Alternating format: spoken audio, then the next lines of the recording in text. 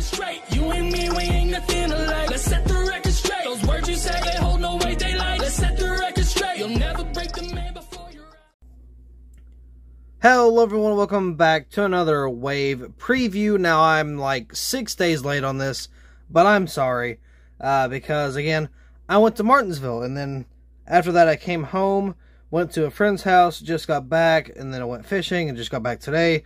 So I've been kind of, no, I think I had like one day out of that like whole week of, well no I didn't, because I went to Martinsville for four days. I went there before the race, Of course, I was there for the Xfinity race, Cup race, and then we stayed another night, and then we went home that fourth day. And then the next day after that, I went to a friend's house, stayed the night there, came home. Now we're here. But anyway, Lionel decided to give us a wave 13 for whatever reason, which I'm fine with a bonus wave. You know, that's that's good by me. It's not a bonus wave, but I mean it technically is. It just isn't labeled bonus wave, and there's not like you know so many cars in this one. It's just a normal another wave in 2020, but they named it Wave 13. Now, here's the thing. I've seen this wave. I've already seen you know what it looks like, what the cars are, and I mean it's a good wave. But we got a little problem we got to talk about with how it was produced. So we will get to that here in just a second. So here is Wave 13. Let's take a look. Right away, you can notice this mold. Now, you may be wondering, well, what's so bad about it, okay? Uh, if you are not a diecast enthusiast like me and a couple other people I know are, um, this wave is good, right? But uh, it's just if you don't see it, if you don't see it, you really should. Here's oh, I just noticed something too. Those spoilers look super short. Wow, that's even that's even worse. I didn't even notice that. So, okay. We'll talk about that too. This is the Erik Jones 2021 US Air Force or Special Warfare. Great scheme. Fantastic scheme. I'm so glad this is being made. It is being made in the Gold Series, so I'm definitely skipping this one to pick it up in the Gold Series. Now, you may wonder, or not really wonder, but you may notice first things first, boom, look at that interior. Black. Awesome, right? Uh, yeah, that's good that the interior is black because that's more of a uh, Gold Series quality, but at the same time, it's on the PTC mold. Now, if you don't know what a PTC mold is, take a look at this car right here on your screen, the 43, right? Here is how it is supposed to look. It's a different car, but like you can take a look at the wheels. They kind of flip back and forth here. But I mean, you can see, like for example, I'll I'll, I'll uh, point out some of the defects on this car just from what I can see. So the NASCAR race car logo on the B post is you know off center. Uh, it looks like the Cup Series and the SDP 50 years is kind of like split, if that makes sense. It's kind of like at a weird angle to where it's not lined up properly. Uh, look at that rear gap between that wheel and the wheel well. Yeah, now that we're focused on the wheel, take a look at the lettering. That lettering is way too big. So, again, take a look at the spoiler too. The spoiler, super short. I didn't even notice they did that because this is the first time we've had uh, the PTC mold since 2018. Now, again, black exterior, that's good and all and dandy. But, I mean, let's take a little, little closer about why these molds are so bad. Okay? Look at that front end. Look how smooth and just kind of fake that looks, right? It just it looks so cheap. It just so it's really nasty looking, right? It just doesn't look good. And not only that, look at the B post. B post is all scuffed up. We can see that there. Which I mean, Lionel does that a lot, but still, just salt on the wound.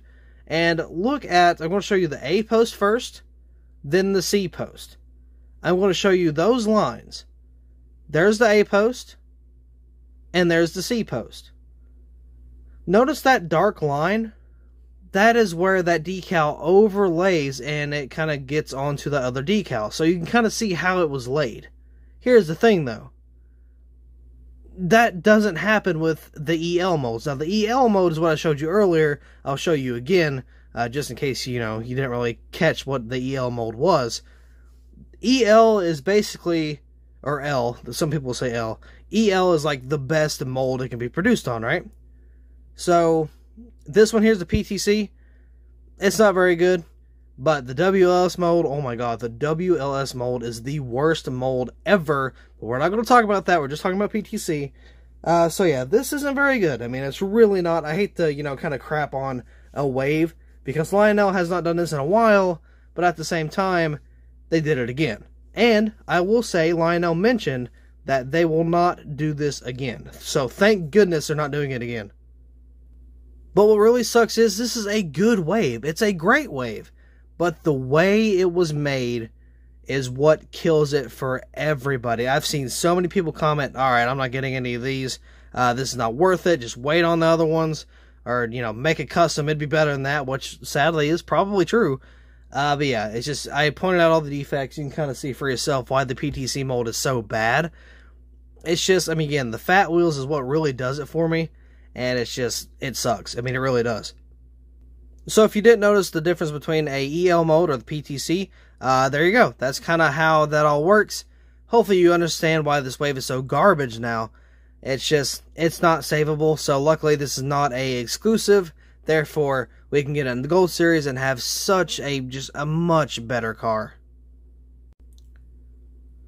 Next up is Chase Elliott's Children Health Care of Atlanta. Now, I guess this was ran at Atlanta, probably. Uh, but this was also a early release when it comes to the Gold Series, right?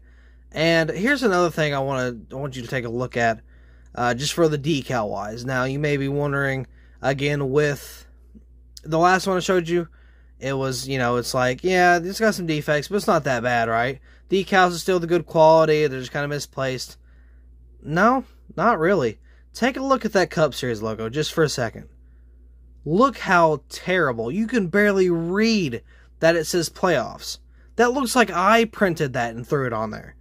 That's how bad that is. I have a oh, couple hundred dollar printer sitting right here. That's what I print all my stuff with. It doesn't look good. It really doesn't.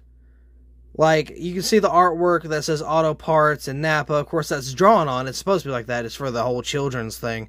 Uh, but it looks like they did the same thing with the Cup Series. I mean, it's not supposed to be that way, but it is. It's just, it's not very good.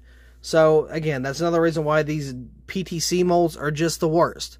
Now, a lot of people are like, oh, I don't really mind it. I mean, that's good for you, you know, but like a lot of people, a lot of people care about how they look, such as me. Uh, again, I just don't like how these molds are. They're really crappy, really cheap looking, and uh, it ruins perfectly good paint schemes like this one. Here is Kyle Larson's 911 tribute. I love this paint scheme. Now, again, I'm going to point out another thing, uh, another couple of things going on with this mold. Look at the Kyle Larson name rail. I'll show you to you there. Super off center. And look at the winter stickers. You can barely make out that those are winter stickers. And look at the gas can, or the gas fuel tank area. That ethanol ring is so far back. It's like these molds are kind of smaller than the actual ones. So it's like, I mean, again, this this mold is it just it's terrible for so many reasons. Now, this is not an exclusive, thank goodness. Uh, this will be coming out whenever I don't really know when. But if it's in Authentics, then you know, hopefully it's soon. Begin a fantastic paint scheme. Of course, you got the stars in there. It's just the same HendrickCars.com with a little bit of yellow, a little bit of playoff markings, and a little bit of stars. Now, here is where it sucks for the collectors. Now, okay. This number three is an exclusive, meaning you cannot get it in the Gold Series. You can only get it either, either as a custom, but made by somebody, or you make it yourself, or you get it in the Wave, you know, officially produced by Lionel. Now, on this mold, it looks just so much like more worse. Again, if you take a look around that B slash C post area, you can see that black line. That's just how bad the decal is. It doesn't really fit on that mold. It doesn't go over that black. It doesn't cover it up. It just sucks. I mean, it does. But that's that's what really ruins the scheme. And not only that, it ruins the wave itself. It's for any exclusives like this one here. And I think we got one more also that's exclusive. It's just, it doesn't do it. I mean, it's just one of the worst molds ever. Can't stress it enough. I wish Lionel would fix this problem, even though they are. But this is not acceptable. I really wish they would actually, uh, you know, do a little more because they said they was kind of in a rush to uh, do it, like in a rush to get this out. Which here's what I don't understand: why are you in a rush? it's wave 13. You're past wave 12 already. You're done for the year, but she wanted to put another one out, which, you know, it's fine by me. Uh, but apparently, from what I heard, wave one through, you know, whatever is supposed to be a Gen 6 only year slash waves. Now, I don't know if that's true. That's what I've heard, so maybe that kind of led to this getting rushed out a little more and it doesn't get produced as good as it used to, or nor as it normally does, I guess. But I don't know. I guess we'll have to uh, kind of take a look at what's coming up in the near future uh, for these next gen waves slash 2022 waves. You know, stuff like that. We'll see. We'll see if we get good stuff. We'll see if we get bad stuff. But this right here, this wave is just, it's not a fan. Uh, or a lot of people are not a fan of it, including myself. Again, the wave is good, paint schemes are great, but the way it's made trashes it all. I'm pretty sure this one is not an exclusive. This is the sports clips for Rowdy Busch. Now, this is kind of weird uh, because, you know, I don't really see uh, sports clips on, you know, 18. Normally I'll see it on Denny Hamlin, you know, people like that. Maybe Truex. I don't think I've seen it, but I can see it being on Truex. Again, I don't remember if it has. Just the 18 doesn't look like look right with sports clips. I mean, it really don't.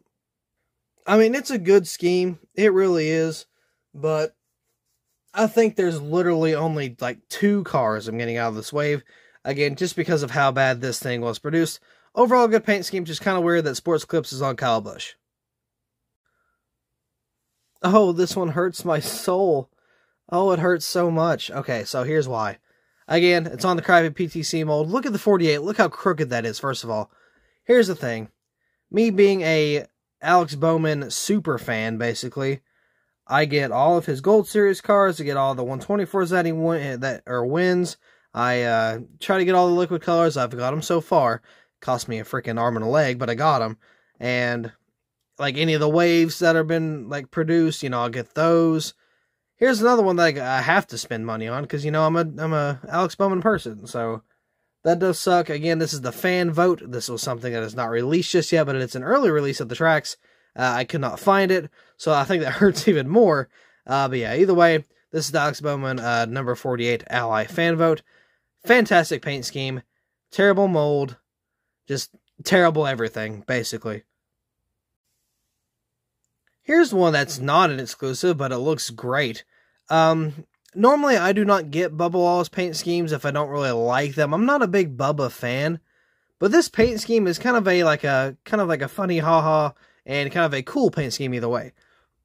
so, excuse me. So on the side, you can see it's got that black, that white, that red. Looks really nice. It really does. And on the front, you can't really tell, but on the hood, you got Bubba there, you got little hearts around them. So, you know, that's kind of funny. I like that. I like paint schemes like that.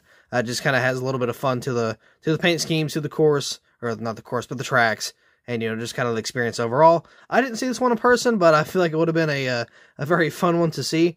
And I'm kind of looking at that rear Goodyear tire. Correct me if I'm wrong. Uh, wonk. Correct me if I'm wrong. Corrects me. Corrects. Oh my god, I can't even talk. Correct me if I am wrong. But look at this. It's like. What was I saying? I don't even remember. Anyway, uh, yeah, it's a cool paint scheme either way.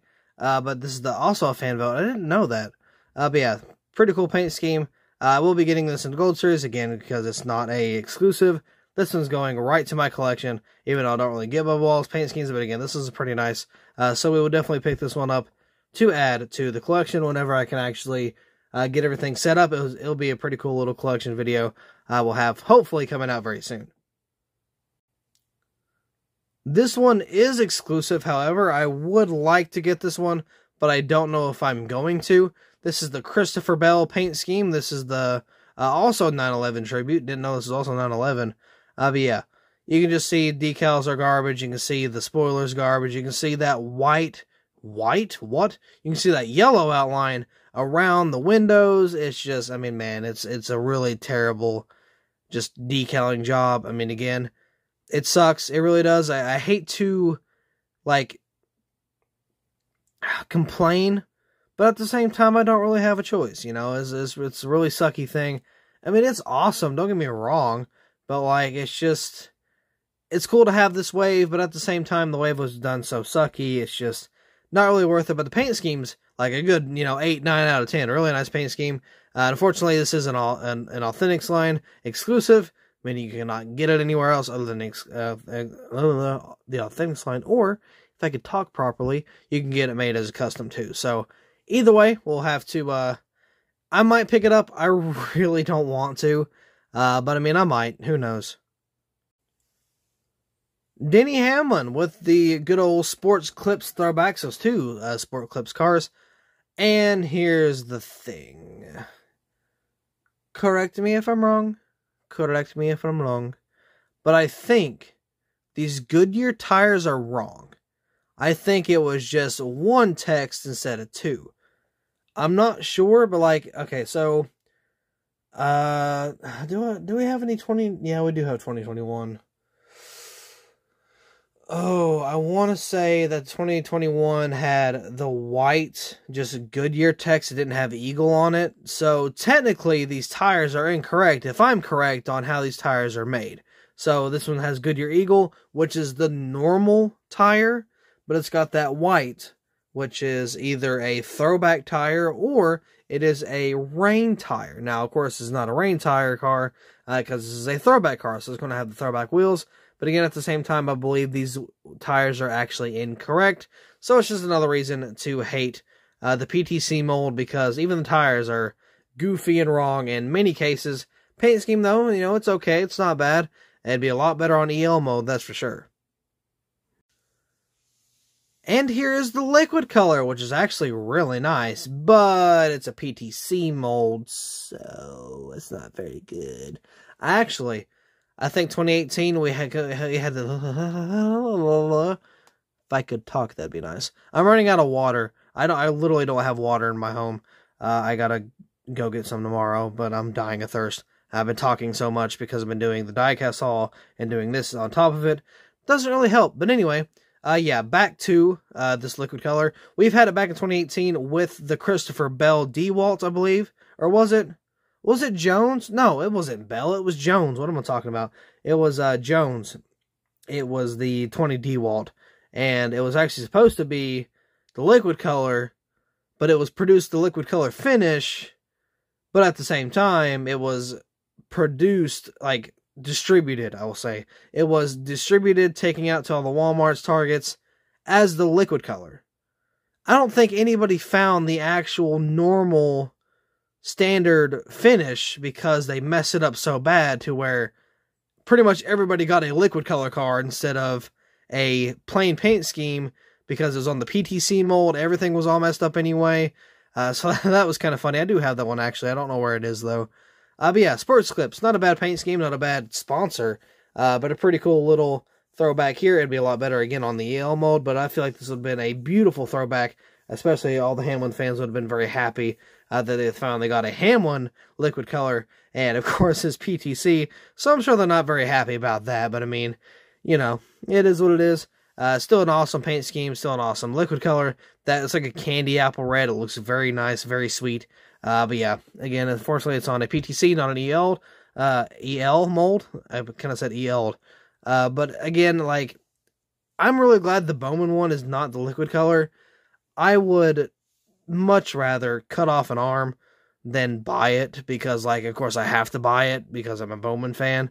Uh, but if I was forced to buy a PTC liquid color mold,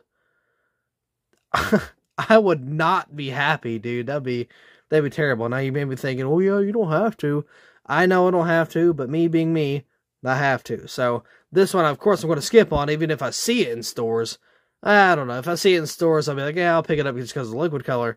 But it's not a good one. It's, this. I mean, it is easily the worst wave we, wave we've had. The worst liquid colors, the worst paint schemes in terms of in terms of like how it was produced.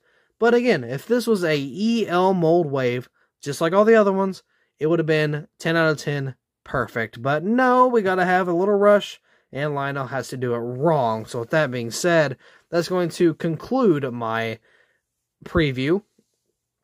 And honestly, I would give it two scales. You, you probably already see this coming. So, on a scale of how it was produced, like a 3 out of 10. I mean, like, it is garbage. G big old garbo. Now, if it was EL mode, a good nine, a good solid nine, maybe even a nine and a half. It was a fantastic wave. You got two exclusives.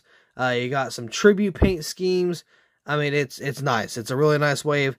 But again, Lino had to done uh done goofed on it, so uh, we're just going to have to deal with it. But that being said, I believe I'm going to end it out here. Thank you all so, uh, so much for watching, if I could speak again. And thank you for listening to my rant. Uh, I think it's the first rant wave preview I've ever done, so uh, enjoy that one. Uh, but yeah, once again, thank you all so much for watching. I hope you all enjoyed, I really do. And I will see you all in the next video.